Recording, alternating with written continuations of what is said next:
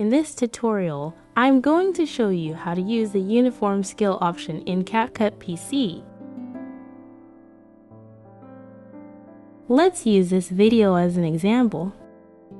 To use the Uniform Scale option, the first step is to tap on the video until it becomes active.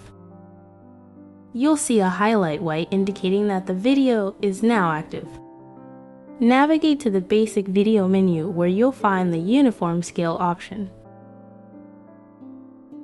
Make sure it's activated.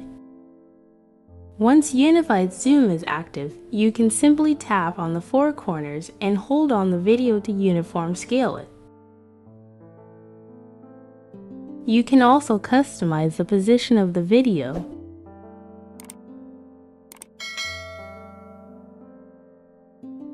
If you wish to rotate the video, tap on the rotate icon, hold it, and adjust the rotation according to your requirements.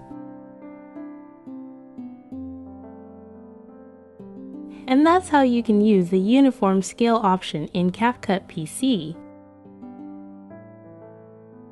Now, we unchecking this uniform scale.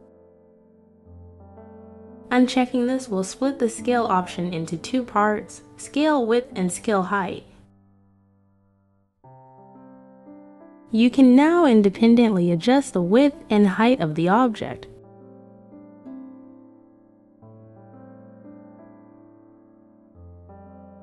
Experiment with different values to achieve the desired effect.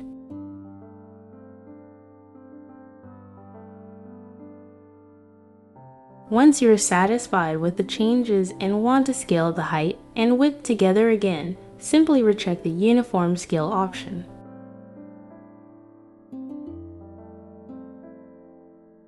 And there you have it.